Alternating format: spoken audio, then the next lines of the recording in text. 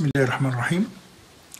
من الآثار الآنية التي ظهرت في مجتمعات متعددة حالة من القلق والخوف انتابت الناس وجعلتهم يلجؤون إلى تعاطي الأدوية والعقاقير المهدئة.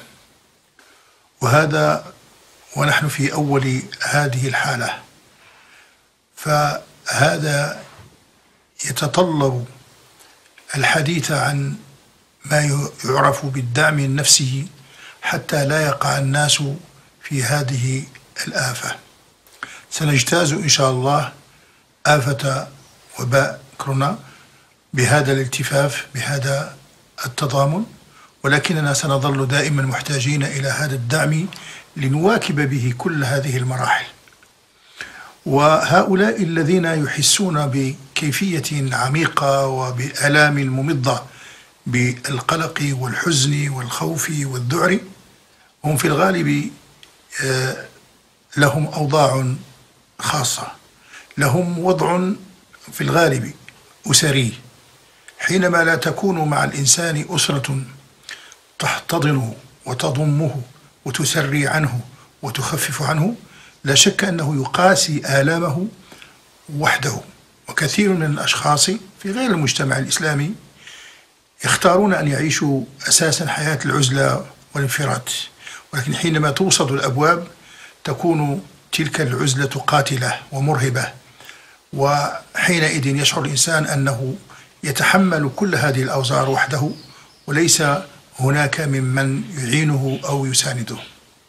ثم إن بعض الناس لهم وضع آخر وعدم الإحساس بالسند الخارجي. وهذا أمر مهم جدا.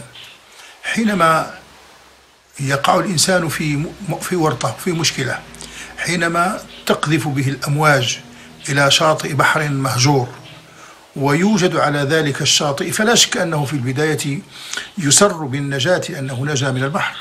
ولكنه بعد ذلك ينتابه خوف آخر هو خوف الضياع على هذا الشاطئ لأنه لا أحد يعلم بوجوده فيه. وحين ذاك يأخذ في إصدار حركات أو أشياء مما يمكن أن يستلفت به الأنظار. فقد يكون ذلك برفع اليد أو بالصراخ أو بإشعال النار وما إلى ذلك في آه، سعي منه لإعلام بوجوده. فإذا ظهر له أن هنالك سفينة أحست بوجوده وعرفت وجوده وأطلقت إشارات فإنه يسر بذلك سرورا آخر ويحيا حياة جديدة ويفرح فرحا عارما لأنه يظن أنه نجا منه. فهذا الإنسان يظن النجاة ويطمئن لمجرد أنه علم أن هناك من رآه. فكذلك الإنسان حينما يعرف أنه يعيش هذه الحالة وأن هنالك من يراه ومن يرعاه ومن يدبر أمره وهو الله سبحانه وتعالى. فلا شك أن ذلك سيكون سندا قويا وباعثا على الاطمئنان.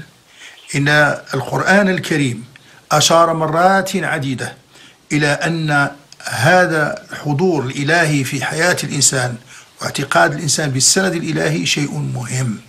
ففي جميع الحالات كان الأنبياء دائما يستظهرون في الحالات الصعبة بالمعية الإلهية. فأصحاب موسى حينما قالوا لموسى إنا لمدركون قال لهم موسى بعد ذلك كلا إن معي ربي إن معي ربي والسر كله في معي ربي. وهذا أمر مهم جدا. كرره النبي صلى الله عليه وسلم حينما خاطبه أبو بكر وهو في الغار. وذكر له أن هؤلاء لو أنهم طأطأوا الرؤوس لا آه، رأوا آه، أبا بكر والنبي صلى الله عليه وسلم.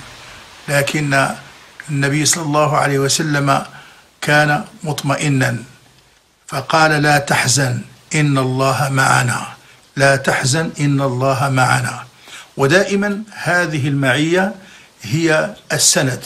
وكان الله تعالى يجعلها جزاء لأهل الإيمان. إن الله مع الذين اتقوا والذين هم محسنون. وهذه المعية ليست صحبة ليست آه، حضورا بلا بلا بلا بلا أثر بل إن إنها المعية الإلهية هي مساندة وهي رعاية وهي دعم وهي حفظ. فلذلك يحرص الإنسان على أن يكون مع الله. ليكون الله معه. ولكن الإنسان الذي عاش مع الله دائما والذي اعتقد كمالات الله ودرسها وعرفها يسهل عليه أن يستحضر معية الله وأن يجتاز هذا الامتحان. ولكن إذا كان الإنسان أصلا لا يؤمن بهذه الصفات الإلهية فهذه مرحلة للدراسة. إن الإنسان يجب عليه أن يقرأ وجود الله. يقرأه قد صار هذا الوجود ظاهرا معلنا وأصبح كثير من الناس يقول بهذا. وظهر منسوب الإيمان في كثير من الشعوب في كثير من الثقافات لأنهم يقولون إن ما فعله الإنسان في, في هذه المرحلة انتهى. ولكن كلهم ينتظر ما يمكن أن يأتي به الخالق سبحانه وتعالى. يقول هذا الكلام غير المسلمين. يقولون هذا لأنهم أحوج ما يكونون إلى أن يجدوا هذا الدعم وهذا السند. فوجب إذا بالنسبة للمسلمين أن يكون لهم هذا الالتفات إلى هذه المعية الإلهية. هذه المعية الإلهية مساندة وتأييد وفيها عصمة لهذا الإنسان.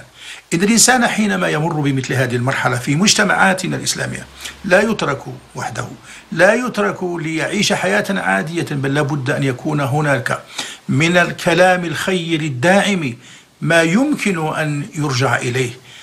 أيها السادة السيدات إن المسلمين كانت تمر بهم هذه الأزمات وما كانوا يقضون هذه الأوقات في لهو أو في استعادة الأرقام إلى أين وصل الوباء بل لابد أن يفعلوا شيئا من أنفسهم كان هناك علماء كتبوا في التسرية عن الناس كان هناك أناس أنجزوا.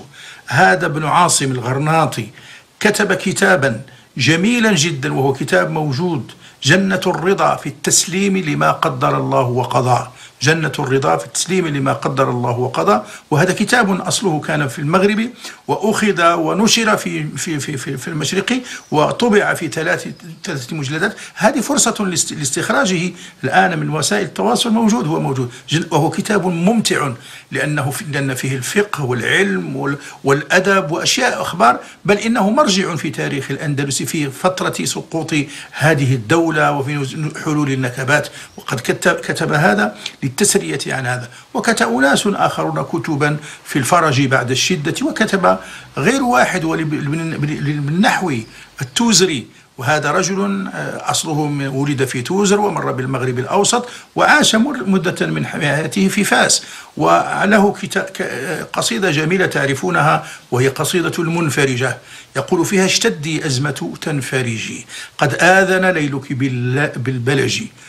وهذه القصيدة أو كلمة اشتدي أزمة تنفرج تنفرج هي أصلا من كلام علي بن أبي طالب وأصلا هي مما يقوله المسلمون بأن الشدة لا بد لها من زوال. هذا اعتقاد المسلمين بأن الشدة لا تزول لا, لا تدوم وأنها ستزول ولذلك عبر هذا بهذا الكلام الجميل حينما قرأ الناس هذه القصائد كانوا يقرؤونها وقصائد أخرى من أجل فتح المجال للرؤية الجميلة لاجتياز هذا الإنسان لا يمكن أن يمر هكذا لتتحطم أعصابه وليقع له ما يقع. ونتصور شبابا آه، مثلا لا لا يتصل بهم أحد يعيشون وحدهم ربما يترددون على مواقع لا تفيدهم شيئا كثيرا في هذا. نحن الآن محتاجون إلى الدعم.